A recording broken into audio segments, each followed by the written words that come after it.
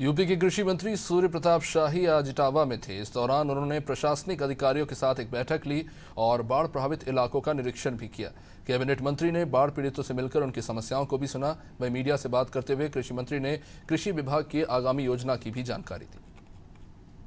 हुए उनके भीतर जो है वो तात्कालिक उनके आजीविका को चलाए जाने के लिए राहत सामग्री का वितरण कराया है।